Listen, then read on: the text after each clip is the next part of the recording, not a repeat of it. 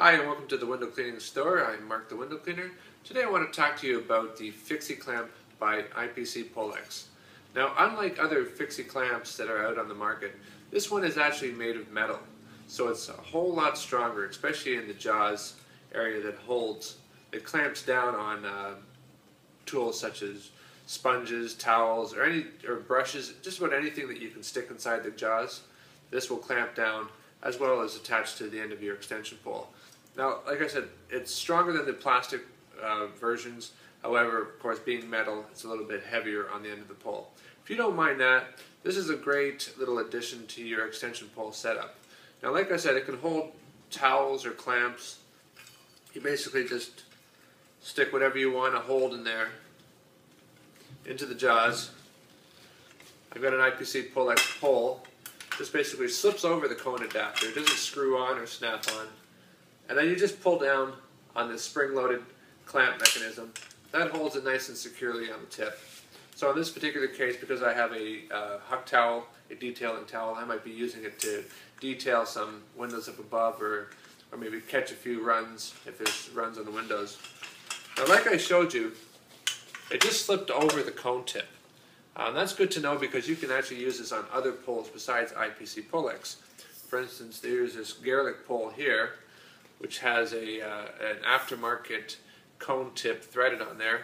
There's no locking attachments or anything. It's just a basic cone tip. So again, it just slips on the end here.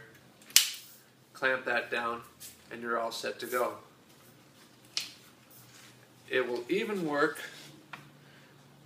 with the Unger locking cone, even though it has this little flared bit down here, this is the mechanism Unger has for releasing this off the pole tip.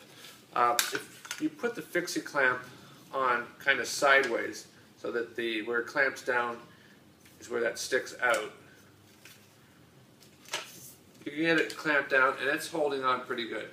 So again, it's you know it's working on the uh, the IPC Pulex pole, the Garelick pole, with the aftermarket uh, cone tip attachment. It'll work on wooden cone tips and of course, just like I've just shown you here, the Unger cone tip. The one last thing I want to show you, because I know some people like to use one of my favorite tools, which is the wagtail angle adapter. So they normally stick that on the end of a pole. And I'm happy to report that this will also lock down on the end of the wagtail angle adapter. And of course, as you know, you can use this angle adapter this way to get over ledges, or if you're trying to reach uh, horizontally across something, you might hold it in this position. Either way, it clamps down nice. Now you're getting above and beyond, reaching over. Probably good for wiping up sills from the ground. And like I mentioned, the Fixi clamp can hold just a wide variety of tools, whether it be a detailing towel, a sponge, maybe you have an old brush, maybe a stiff bristle brush that you want to get some stubborn debris off, and it doesn't fit on your pole any other way. Uh, this particular brush here, it's pretty thick. It is meant to go on the end of an extension pole that has an acme thread, but let's assume that it didn't have that. This will even clamp onto here. Let's get a pole.